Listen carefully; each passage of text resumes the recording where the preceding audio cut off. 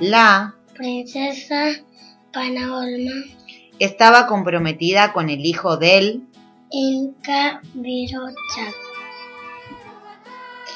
pero ella amaba desesperadamente a Milak Navira, las familias de ambos se oponían a su amor y ellos juntos deciden escapar de Cusco.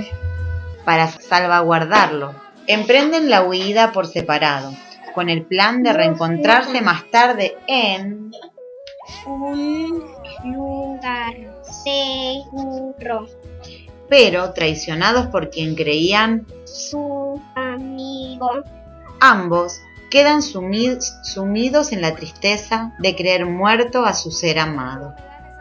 Cuando faltaba poco para llegar al sitio acordado para el reencuentro, la noticia de la muerte de Milak Navira, llega a oídos de Panaolma, que rompe a llorar desconsoladamente, las lágrimas incontenibles comienzan a surcar la, la tierra, hasta dar origen al cauce de un nuevo río.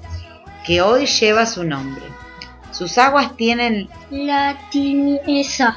De un amor que nunca se apagó.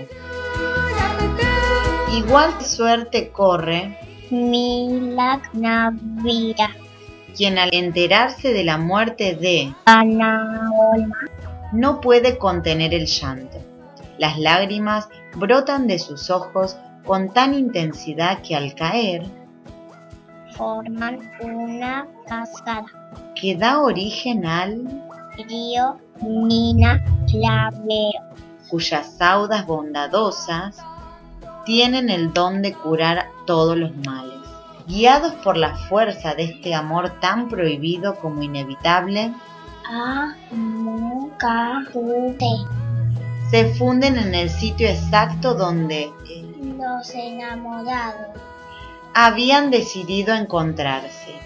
De la confluencia de ambos ríos nace el Arriba.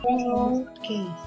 sauces, símbolo de la unión eterna de las de Dos enamorados. que lucharon hasta el final por mantener encendida la llama de su amor.